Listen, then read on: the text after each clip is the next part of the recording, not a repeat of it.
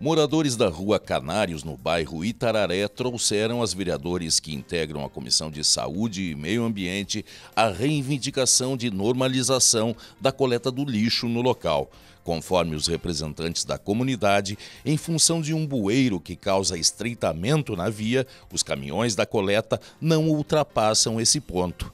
Grande parte dos moradores não estão sendo atendidos pelo serviço. Como resultado, há acúmulo de detritos pela rua, mau cheiro e proliferação de animais nocivos. O secretário municipal de Infraestrutura, Francisco Severo, participou da reunião e garantiu providências. Segundo ele, será feita uma análise técnica do local e as devidas obras para que os caminhões do lixo voltem a atender toda a extensão da rua.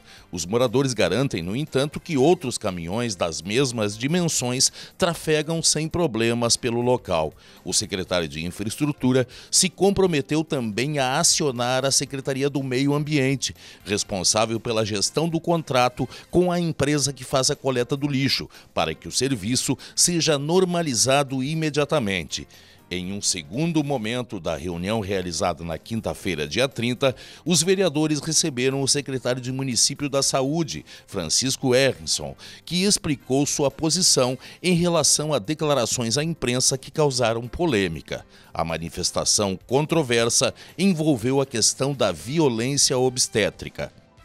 O termo, de, o termo violência obstétrica ele está sendo combatido pelo Ministério da Saúde. Eu discordo com essa ideia de combater o termo. Eu acho que a gente tem que combater os atos né? aquilo que hoje ofende as pessoas, aquilo que magoa, aquilo que traz sofrimento a uma pessoa, não me importa o nome, ele tem que ser combatido. E eu acho que aqui a gente serviu para a gente dirimir qualquer dúvida, tirar qualquer ideia de que a Secretaria de Saúde é contra isso ou aquilo. A Secretaria de Saúde está lutando para melhorar o pré-natal das mães, criar, o, tirar do papel o projeto da Mãe Santa Mariense, para que as mães tenham um pré-natal digno, tenham um acolhimento digno, um tratamento digno, e aí a gente nunca mais vai falar em violência obstétrica.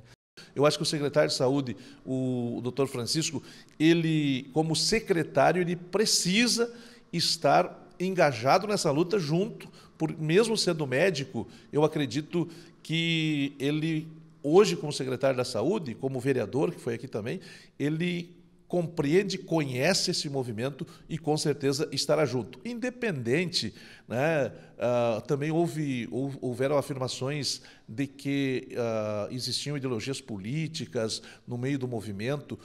Nós respeitamos todas essas mães, seja, seja qual for a sua posição política, uh, esquerda, direita, ou, ou, enfim, nós não podemos avaliar a, a, a, luta das mães por questões ideológicas. Eu acho que é uma luta de todos nós, é uma questão social.